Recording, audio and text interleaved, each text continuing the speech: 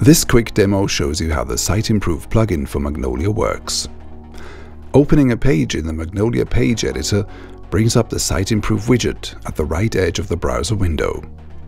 Clicking it reveals a full Siteimprove dialog, including the Digital Certainty Index score.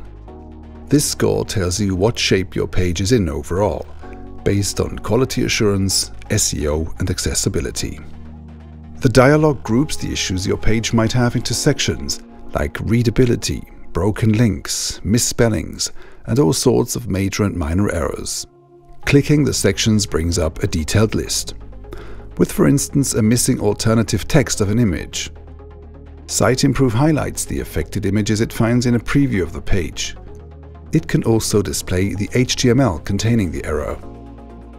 The plugin pinpoints literally any issue you can think of, like insufficient color contrast in text blocks, as in this example.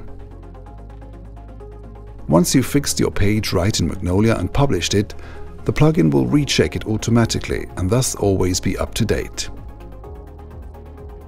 Leverage the Siteimprove plugin for Magnolia for a flawless customer experience and richer content insights, all in one highly effective workflow.